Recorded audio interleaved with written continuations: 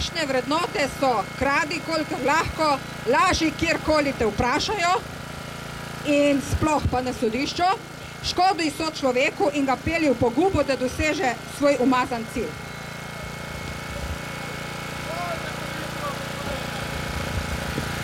Tukaj le imam, da vam lahko pokažem, ajde, vam lahko pokažem zahtevo za pridobitev osebnih podatkov, ker zato, ker si nisem dala mira, nisem si dala miru in ne bom tiho. Konc je. Pridobila sem podatke, kaj sem javila na policijo. Iz državnega tožilstva so mi pa odgovorili, da sem nekaj čist drugega rekla. To pomeni, da v mojem imenu lažejo. In, in to lažno ovadbo oziroma lažno poročilo je napisal Srečko Cegola iz, iz PP Koper. anga nebo.